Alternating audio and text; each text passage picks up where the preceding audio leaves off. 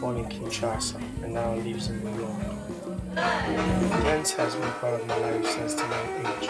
The culture of Kinshasa exposes you to so many different cultures. And coming to New York, also seeing that. I'm Eto'o Tsana, choreographer, dancer, and dancer and dance teacher based in New York City. I started teaching Congolese dance in 2009. But what attracted me to this style wasn't just about the movement, it was the immediate connection when I saw. As an Afro Latina, being Puerto Rican and African American, I could see the source of my dances and music coming through this style called Congolese dance. So I felt I needed to know more.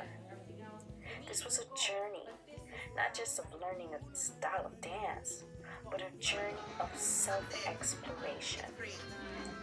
I was lucky and fortunate to take my to Paris and the Republic of Congo with Crisogone Diangwaya of Brazzaville to learn more and to get an in-depth study. And in 2014, 2015, 2016, I ventured over to the Democratic Republic of the Congo. This was bigger than just movement.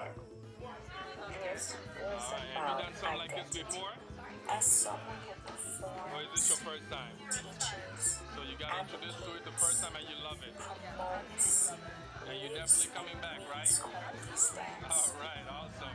that the best way to keep Congolese dance, music, and culture. Got a good workout? Yes, it was a great workout. So much fun. Awesome. All right. Uh huh.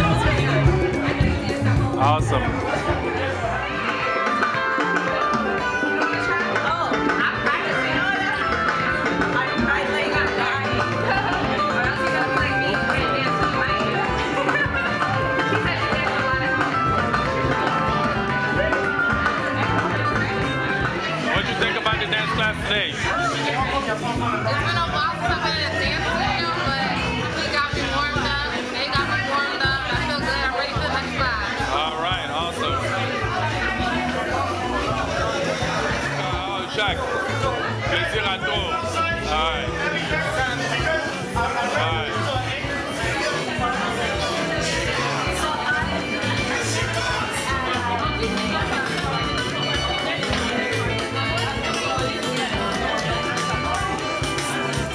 think about the dance class today? Loved. I want I love being with it.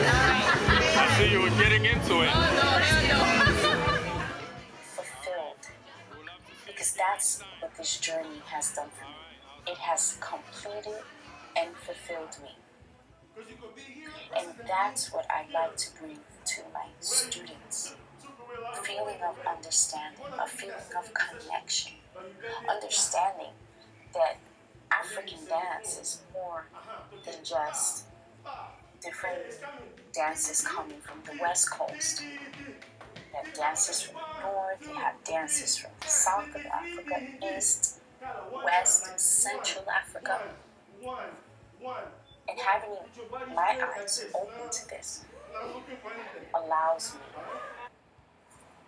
to feed, to share, to nurture. Join me, Eto'o Tsana, and Katalay as we present Afro Congolese dance contemporary.